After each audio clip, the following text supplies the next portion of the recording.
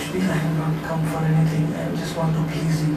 Mahalakshmi said, no, no, please ask for something. Narada said, I am eager, I am very eager to taste the Mahaprasad of your husband, Lord Vishnu. Lord, I want to uh, get the mercy, the causeless mercy. महाप्रसाद चाहिए मुझे भगवान का and Mahalakshmi said, became her head fell down she became a little embarrassed she said uh, I cannot give you that Narada said why uh, Narada said, because my Lord has prohibited me from giving Mahaprasad to anyone भगवान ने ना बोला है महाप्रसाद नहीं देने का the Lord has prohibited. So Narad Muni became very sad. He said, please, please. Lakshmi also became sad because Narad had served her for 12 years. So Lakshmi next time she went to Vishnu, she was serving the lotus feet of Vishnu, but in her face some uh, dissatisfaction, some sadness was there. The Lord cannot tolerate sadness in the uh, in, uh, in his devotees. The Lord immediately took Lakshmi close by, said, raised the of Lakshmi. Lakshmi, you sad? Uh, Lakshmi said, uh, because uh, my dear Lord, Narada has asked something from me which I cannot give. For 12 years he is serving. So what is that? He has asked for your Mahaprasad, but you have told me not to give. So the Lord started smiling. The Lord said, You can give him, but don't ask me. Without telling me. Without telling me you can give him. Why did you ask me? You me. If you don't ask me, then it's okay. Then next day Lakshmi took the uh, from the directly from the Lord's plate. The Lord has eaten from in Mahavaikuntha Mahaprasad. Lakshmi took from the plate in her hands a handful and gave it to Narada. And Narada Muni, just by the touch of Mahaprasad, all his hairs uh, were standing on his end and tears started flowing from his eyes. And he started eating. Immediately, he was not ashamed only, in front of Lakshmi only started eating. Because it is said Mahaprasad, whenever one will get, one should eat in midnight or morning. Sarvam Bhattacharya, when Lord Gaurhari took Mahaprasad, he was getting up from his bed. And immediately Gaurhari gave him, he immediately started eating. And the Lord was very pleased to see this behavior. So Narada started eating and uh, uh, he ate everything. And when he ate the Mahaprasad, very miraculously, uh, by the power of Mahaprasad, his body became shining like 10,000 suns. Illumination going from his body. And in that ecstatic mood, he started dancing and he started coming down back to this universe. And on the way came the home of Shiva, Kailash. You know, down. And uh, by his illumination, you know, he everyone was attracted to his beauty and he was in a specific bow. Nobody has seen another so peaceful. So Lord Shiva came out and Shiva uh, said, Stop, stop, Narada, stop. Tell me what is the secret? Why are you so effulgent today? Why are you so much in bliss today? Hmm. Narada said, Because I have uh, got this more rare Mahaprasad of the Lord in Vaikuntha, which you also can't have. Narada told Shiva, आपको भी नहीं मिलता है ऐसा प्रसाद वो मुझे मिला है महाप्रसाद And he told like that, Shiva got a little agitated. Shiva said, Narada, you are my dear friend, you know, cherished friend, pals, we are pals. You know, everything we do together. And uh, why you are, uh, you eat Mahaprasad without giving me? मुझे नहीं दिया तुमने खा लिया अकेला can I do? You know, I mean, I was so much greedy for Mahaprasad. Laulyam, api maulyam, eklam, जन्म कोटि सुकृति लोभ होना चाहिए। भगवान का नाम के लिए, भगवान का प्रसाद के लिए, भगवान का लीला के लिए, सत्संग के लिए। तो मैं खा लिया I ate it because of my greed for mahaprasad so Shiva became very sad. And at that time, Shiva was looking very attentively to Narada and suddenly in Narada's hand in one of his nails one grain of that Mahaprasad was sticking at rice and Shiva became so happy he did not even ask Narada he just grabbed it and he put it in his mouth and when he put that grain of rice in his mouth, my God, and, and Shiva went into the greatest of ecstasies which he has ever exhibited. Uh, you know, his hair became loose, and uh, he took out his dabru, started playing, and he threw out the trishul, and he became totally bhavyukta, and he started dancing very, very fiercely and jubilantly in bhav. And ऐसा नृत्य किया ऐसा नृत्य किया शंकर जी ने कि पूरा ब्रह्मांड हिलने लग गया इवन अनंत शेष अनंत शेष he was feeling the weight now in his head of the universe it was bending. Ah. Like that it was bending even though you know, its universe is like a mustard seed on the head of Ananta still because of Shiva's dancing, all the demigods were thrown out of their abodes and they all came rushing. Said, you know, it's dancing. Why is Shiva dancing so ecstatically? Please stop, please stop. He was not listening.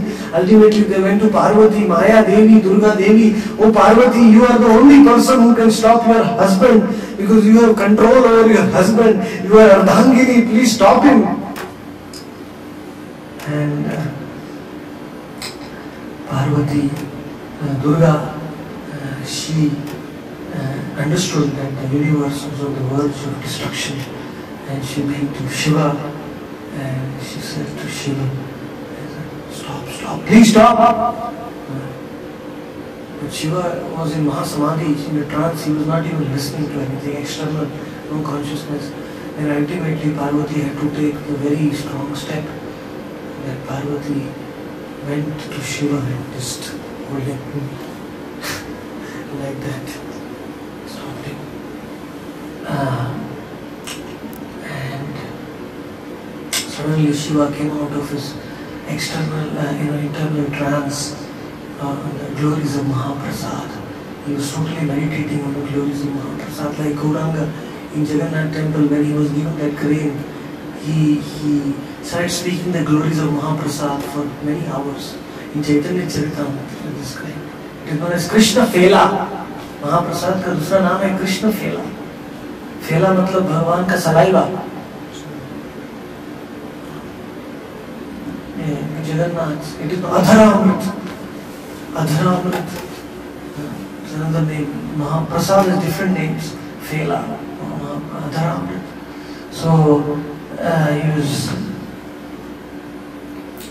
And Shiva was fully meditating on the glories of that Prasad, Mahaprasad. When he came out, uh, he became angry on Parvati, very angry. Who are you to stop my dancing? I have never experienced this. Why did you stop my dancing?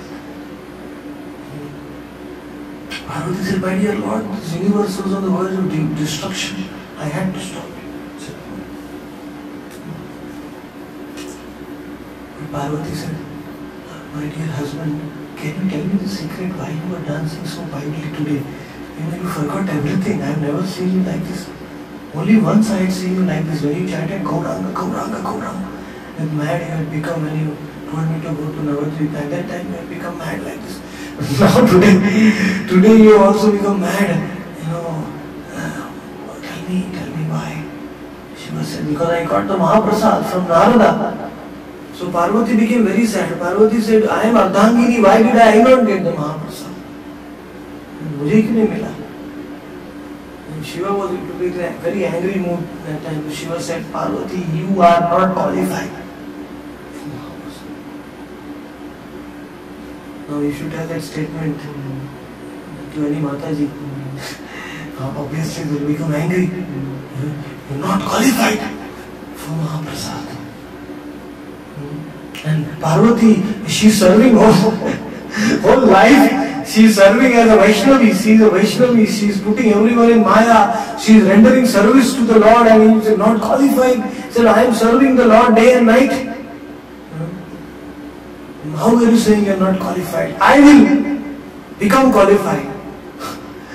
And Parvati uh, uh, took that vow that this Mahaprasad which you are all, you are all dancing about, you know, and not giving me. I take this vow that this Mahaprasad, I will make the Lord personally come and eat this Mahaprasad.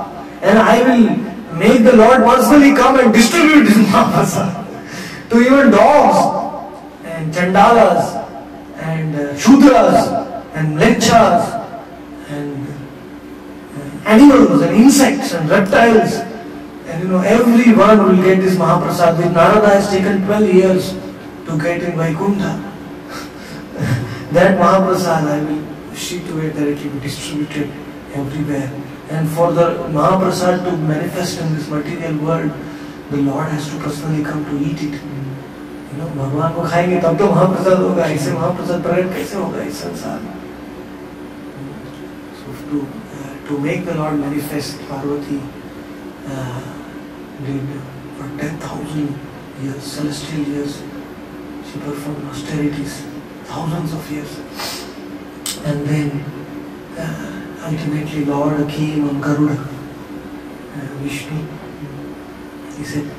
standing up only, he gave this meditation to Parvati. I am very pleased by your devotion. Uh, even though I keep this Mahaprasad very, very rare, you are actually Ansha part of Mahalakshmi. So uh, I keep this Mahaprasad very, very rare. And the secrets, I don't reveal it in this material world, but because you want, I will come in Nilachala Kshetra, uh, Kshetra Mandala, uh, Niladri. On, I will sit on the top of the mountain known as Nilachal. Nilachal पर्वत मंदिर के नीचे अभी थोड़ा कम हो गया है और जो कल्प वृक्ष अंदर है वो actually centre of Puri dham it's a kalpa vriksha where that crow Kakabhushundi who told uh, Indradyumna and Galamadhav that there was a fight between Indradyumna and Galamadhav whose temple it is. He said, no, Indradyumna's temple. Brahma had come for Pran Pratishtha. At that time, they had come there. And this place is known as Swargadwar. You know why? Swargadwar क्यों कहते हैं इसको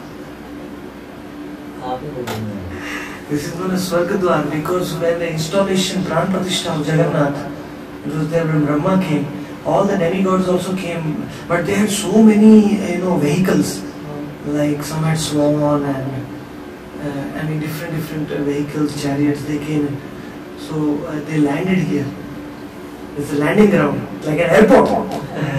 Devataon ka airport, airport of the demigods. Uh, they landed here from heaven and they had the samudra snan and then they went to uh, have the darshan of Jagannath and that is why it is said because they came you can also go. because वो आए हैं तो आप भी उधर जा सकते हैं। वो रास्ता है। स्वर्ग में जाने का।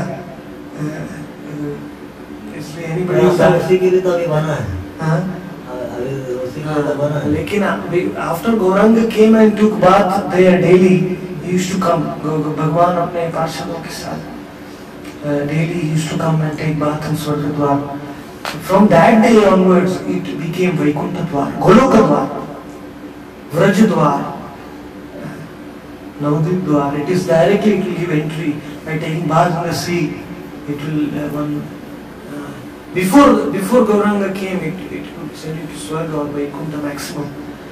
Uh, but after Gauranga has come and taken bath, it is after Haridas Thakur's body was dipped in the ocean, Haridas Thakur Kashyaki. From that day, Gauranga announced that this ocean has become Mahatirth. इसमें इसमें स्नान करेगा उसको कृष्ण प्रेम मिलेगा get Krishna prem is uh, so I think that the, the last part of this time up. The story is that um, yeah, the Lord gave promise to Parvati, I will come. Yeah. But Parvati then told Krishna, okay, you will come to eat the Mahaprasad. But who will distribute it? Want you to distribute personally from your lotus hands. I want you to distribute it to everyone, even animals. So then the Lord smiled. He said, Don't worry, Parvati. I will come as the Jangam Brahma. In Puri, I will come as the Sthavar Brahma and the Jangam Brahma. two Brahma, Par Brahma. I will take two forms in Puri. Puri में मैं दो रूप में आऊँगा हाँ, स्थिर ब्रह्म और चलता हुआ फिरता हुआ स्थिर ब्रह्म कौन है? दारू ब्रह्म और चलते फिरते ब्रह्म कौन है? Gaurang is the moving Brahma. So in one form I will eat other form I will distribute एक रूप में मैं खाऊँगा, दूसरे रूप में बांटूँगा। क्या अद्भुत लीला है पूरी का। Puri special no no other place the lord is doing both eating and distributing So he came as Gauranga and uh, distributed. And Chaitanya Mangal described one day Gauranga called the animals, called the uh, dogs and insects. In Chaitanya Mangal there is a pastime and he from his own hands he fed the animals Mahaprasad. The demigod also came from Swarga to receive the Mahaprasad from his hands. देवता भी आ गए स्वर्ग से महाप्रसाद एक कुत्ता था ना शिवानंद सेन का उसको भगवान ने नारियल का टुकड़ा फेंका Jagannath Mahaprabhu, the Lord threw him. And the next day he went to Goloka. So that is all because of Parvati's uh, determined nature. Thank you so much.